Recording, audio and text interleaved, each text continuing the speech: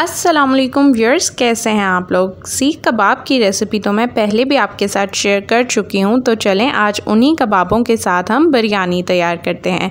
बहुत ही इजी और सिंपल इसका प्रोसेस होने वाला है। बस कुछ ख़ास मसाले हमने इसमें शामिल करने हैं, जिससे इसका टेस्ट जो है दुगना होके आएगा। तो चलें, जल्दी से इसकी रेसिपी स्टार्ट करते हैं। बिसमीम सबसे पहले मैंने यहाँ पर ले लिए हैं चार अदद प्याज। तीन अदद बड़े साइज़ के टमाटर और इसके साथ साथ लहसन और अदरक। लहसन का मैंने पूरा बंडल ले लिया था और दो टुकड़े अदरक के ले लिए। और साथ में ये फ्रीज़ हुए हुए कबाब रखे हैं। इन्हें मैंने निकाल लिया था ताकि ये ढल जाएँ और इजीली डीप फ्रोस्ट हो जाएँ। तो चलें, अब जल्दी से प्याज काट लेते हैं और उसके बाद हम बाकी का प्रोसेस स्टार्ट करेंगे। अब बिरयानी में जो मसाले शामिल होने हैं, वो देख लेते हैं। यहाँ पे मैंने एक छोटी चमची काली मिर्चों की ले ली, साथ में चार अदद छोटी इलायची और एक अदद बड़ी इलायची ले ली। इसके साथ साथ एक छोटी चमची मैंने ज़ीरे की ले ली है, चंद पत्तियाँ मैंने बादयान के फूल की ले ली हैं। इसके साथ साथ एक छोटी चमची मैंने ले ली है लौंग की और तीन टुकड़े मैंने दालचीनी के ले लिए हैं। तो चलें, अब बिरयानी बनाने का प्रोसेस स्टार्ट करते हैं। इसके लिए मैंने हांडी चढ़ा लिया चूल्हे पे। सबसे पहले इसमें डाल रही हूँ आधा कप ऑयल और साथ में डाल रही हूँ दो अदद तेज़ पत्ते अब जो गरम मसाले मैंने आपको बताए थे, वो सारे इसमें शामिल कर रही हूँ और इसे हल्का सा मैं फ्राई कर लूँगी।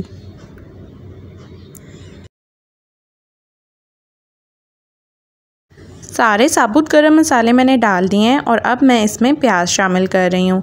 तो जो चार अदद प्याज थे, उन्हें मैंने स्लाइस कर लिया था और अब ये सारा प्याज मैं इस हांडी में शामिल कर रही हूँ। प्याज को हमने गोल्डन ब्राउन होने तक फ्राई करना है। तो चलें, जितनी देर में हमारा प्याज फ्राई हो रहा है, इतनी देर में हम टमाटर कट कर लेते हैं। तो टमाटर मैं क्यूब्स में कट कर रही हूँ। आप चाहें तो लंबे लंबे स्लाइसेस भी इसके कर सकते हैं। तो अब प्याज भी हमारा हल्का हल्का ब्राउन होना शुरू हो गया है तो मैं दो बड़े चमचे इसमें लहसुन अदरक की पेस्ट के शामिल कर रही हूँ। क्योंकि हम जो बिरयानी बना रहे हैं, वो बीफ के कबाब की है, इसलिए इसमें लहसुन अदरक ज़्यादा इस्तेमाल होगा। तो अब ये सारा मसाला फ्राई हो चुका है, साथ ही मैं इसमें टमाटर शामिल कर रही हूँ। तो टमाटर भी हम एक दफ़ा अच्छे से फ्राई कर लेंगे। अब बारी आ जाती है बिरयानी में बाकी का मसाला शामिल करने की। तो यहाँ पे मैंने आधी छोटी चमची गरम मसाले की ले ली, एक चमची धनिया पाउडर, आधी चमची हल्दी, डेढ़ छोटी चमची सुरख मिर्च पाउडर, एक चमची नमक की। तो बस ये सिंपल से मसाले हम इसमें शामिल कर देंगे।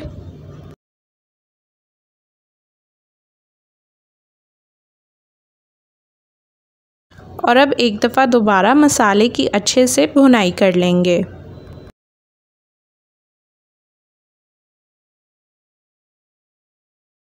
बस चार से पाँच मिनट मज़ीद हमने इसे अच्छी तरह भून लेना है। तो अब आप देख सकते हैं कि ऑयल ऊपर आ चुका है। अब मैं इसमें एक तिहाई कप दही का शामिल कर रही हूँ। तो अब दोबारा हम एक दफ़ा अच्छे से इसकी भुनाई कर लेंगे।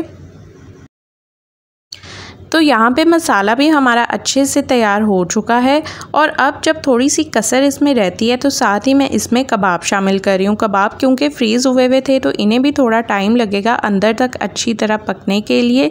इसलिए मैं कबाब डाल के हल्का सा इस पर पानी डाल रही हूँ और उसके बाद मैं इसे कवर करके रख दूँगी। तो ये दम में अच्छे से पक जाएँगे और अच्छी तरह गल भी जाएँगे। तो बिल्कुल लो फ्लेम पर मैं इसे पंद्रह मिनट के लिए रख दूँगी। पंद्रह मिनट के बाद अब आप देख सकते हैं कि कलर भी चेंज हो गया है हांडी का और कबाब भी अच्छे से पक चुके हैं और कुछ ऑयल कबाबों ने भी छोड़ा है, वो भी ऊपर आ चुका है। तो अब मैं इसे थोड़ी देर के लिए स्मोक दे दूँगी और तकरीबन दस मिनट के लिए मैं इसे कवर करके रख रही हूँ ताकि अच्छे से कोयले का धुआँ कबाबों में रच जाए। अब बारी आ जाती है चावल तैयार करने की। तो यहाँ पे मैंने चार गिलास चावल ले लिए थे, इन्हें धो के आधे घंटे के लिए भिगो के रख दिया था। तो अब हम इन्हें बॉईल कर लेते हैं। इसके लिए मैंने एक पतीले में आधा कप ऑयल का शामिल कर दिया है और साथ ही एक चमची ज़ीरे की डाल रही हूँ, चार अदर छोटी इलायची और एक फूल बादन का डाल रही हूँ। और साथ ही इसमें तीन छोटी चमची नमक की शामिल कर रही हूँ, क्योंकि चार गिलास चावल हैं तो एक चमची रोक के मैं इसमें नमक डाल रही हूँ। इन सारी चीज़ों को हल्का सा ऑयल में तिड़का लूँगी और उसके बाद अब मैं इसमें पानी शामिल करने लगी हूँ। तो टोटल पाँच ग्लास मैं पानी के इसमें शामिल कर रही हूँ।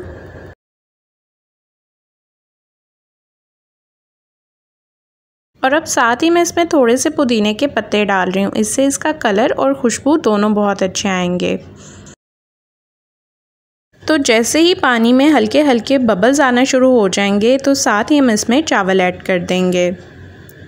तो ये सारे चावल मैं इसमें ऐड कर रही हूँ। चावल शामिल करने के बाद इन्हें एक दफ़ा हम मिक्स कर लेंगे। तो यहाँ पे मैं नमक भी चख रही थी, नमक बिल्कुल पूरा है। अब एक दफ़ा इन्हें मिक्स करने के बाद जब साइड पे हल्के हल्के बबल्स आना शुरू हो रहे हैं, अब मैं इसे कवर करके रख रही हूँ तकरीबन 10 मिनट के लिए लो फ्लेम पे। इतनी देर में चावल हमारे अच्छे से कुक हो जाएँगे। तो ये आप देख सकते हैं, माशाल्लाह माशाल्लाह, चावल अच्छे से कुक हो चुके हैं। अब हमने क्या करना है, इसकी लेयरिंग करनी है। तो लेयरिंग के लिए मैं ऊपर से चावल निकाल लूँगी एक अलग बर्तन में और नीचे थोड़े से चावल रहने दूँगी। तो अब मैंने चावलों पे मसाले की लेयर बिछा दी है और वापस से इसे चावलों से कवर कर रही हूँ। इसी तरह मैं सेकंड लेयर डालूँगी मसाले की और उसे भी चावलों से कवर कर दूँगी।